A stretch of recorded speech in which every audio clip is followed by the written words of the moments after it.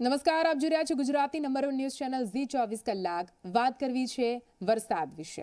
ગુજરાતમાં હજુ પણ ચાર દિવસ ભારેથી અતિભારે વરસાદની હવામાન વિભાગની આગાહી છે. ત્યારે દક્ષિણ ગુજરાતમાં ભારેથી અતિભારે વરસાદની આગાહી કરવામાં આવી છે. નવસારી અને સુરતમાં પણ અતિભારે વરસાદની આગાહી કરાઈ છે. ડાંગ, વલસાડ, તાપીમાં પણ ભારે વરસાદની આગાહી છે. બનાસકાંઠા અને સાબરકાંઠામાં પણ ભારે વરસાદ વરસી શકે.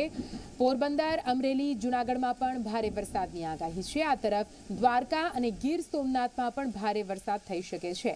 સાયક્લોનિક સર્ક્યુલેશનના કારણે વરસાદી માહોલ જામેલો છે. અમદાવાદ અને ગાંધીનગરમાં પણ વાદળછાયું વાતાવરણ રહેશે. હવે વાત કરીએ કે ક્યારે અને ક્યાં વરસાદની આગાહી કરવામાં આવી છે.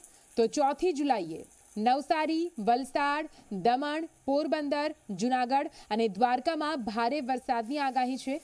તો પાંચમી જુલાઈએ ભરૂચ, નવસારી, સુરત, વલસાડ સહિતના વિસ્તારોમાં ભારે વરસાદની આગાહી કરવામાં આવી છે. ચોથી જુલાઈથી ભારે વરસાદની આગાહી ત્રણ દિવસ માટે કરવામાં આવી છે, જેમાં ચોથી જુલાઈએ નવસારી, વલસાડ તેમજ દમણમાં ભારે વરસાદ થશે.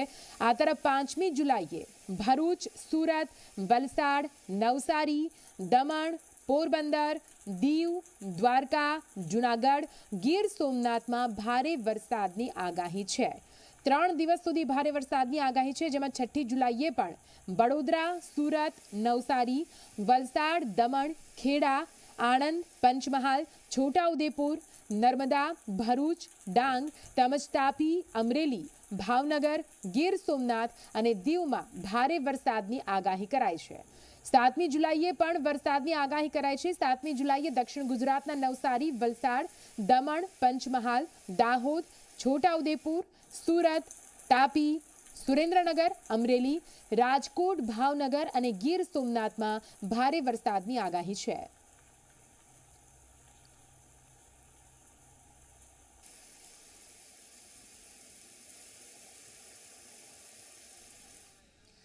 રાજ્યમાં વરસાદી માહોલ છે અને તેને લઈને અલગ અલગ એવા જિલ્લાઓ કે જ્યાં આવનારા સમયમાં વરસાદ વરસી શકે છે. તો સાતથી આઠ જુલાઈ સુધીમાં કયા કયા એવા જિલ્લાઓ છે કે જ્યાં વરસાદ વરસી શકે છે? વિંડીના માધ્યમથી સમજવાનો પ્રયત્ન કરીએ. સૌથી પહેલાં તો વાત કરીએ ત્રણ જુલાઈ કે ત્રણ જુલાઈમાં ધીરે ધીરે સાયક્લોનિક સર્ક્યુલેશનના કારણે ગુજરાતનો જે દક્ષિણ ગુજરાત અને સૌરાષ્ટ્રના જે વિસ્તારો છે કે જ્યાં વરસાદ વરસી શકે છે. અને આ સાથે ચાર જુલાઈ કે જેમાં ભાવનગર, પોરબંદર, જુનાગઢ, વેરાવળ, સુરત ભરૂચ વડોદરા, સુરેન્દ્રનગર તમામ એવા વિસ્તારો છે કે જ્યાં વરસાદ વરસી શકે છે.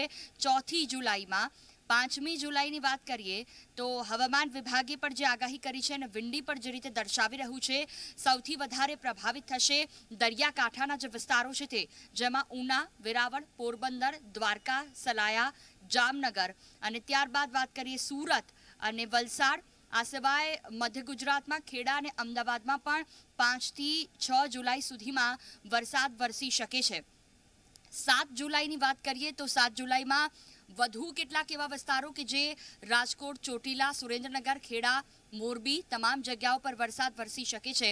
અને આ સાથે દક્ષિણ ગુજરાત ને સૌરાષ્ટ્રના ઘણા એવા જિલ્લાઓ છે કે જ્યાં આગામી સમયમાં એનડીઆરએફની ટીમની જરૂર પડશે અને તેમને પણ તહેનાત કરી દેવામાં આવી છે. સાતથી આઠ જુલાઈ સુધીમાં તેમને જરૂર પડી શકે છે.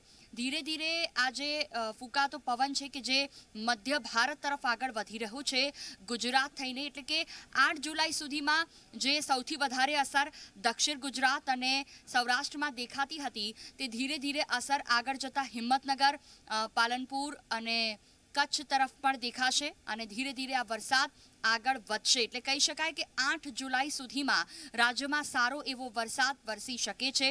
ગાંધીનગર, અમદાવાદ સહિતના જે વિસ્તારો છે કે જ્યાં સારો વરસાદ વરસી શકે છે. વાદળછાયું વાતાવરણ રહેશે. શહેરી વિસ્તાર છે કે જ્યાં શહેરી વિસ્તારમાં સૌથી વધારે ઓછો વરસાદ પડવાની શક્યતાઓ કહેવામાં આવતી હોય છે. પરંતુ આઠ જુલાઈ બાદ હવામાન વિભાગે જે આગાહી કરી છે તે અનુસાર મધ્ય ગુજરાતના પણ જે કેટલાક વિસ્તારો છે કે જેમાં બનાસકાંઠા, સાબરકાંઠા, સુરેન્દ્રનગર, અમદાવાદ, ગાંધીનગર તે તમામ જગ્યાઓ પર વરસાદ વરસી શકે છે. સૌથી મહત્વપૂર્ણ વાત એ છે કે જ્યારે ઉત્તર મધ્ય ગુજરાત તરફ આ વાતાવરણ આવશે, વરસાદ આવશે, તે દરમિયાનમાં સૌરાષ્ટ્ર અને દક્ષિણ ગુજરાતમાં અનરાધાર વરસાદ વરસી ચૂક્યો હશે અને ત્યાં કોઈ પરિસ્થિતિ ખરાબ ન થાય તેને લઈને એનડીઆરએફની ટીમ છે કે જેને અત્યારથી તહેનાત કરી દેવામાં આવી છે. કેમેરા પર્સન વિજય સાથે જુહી પટેલ, અમદાવાદ.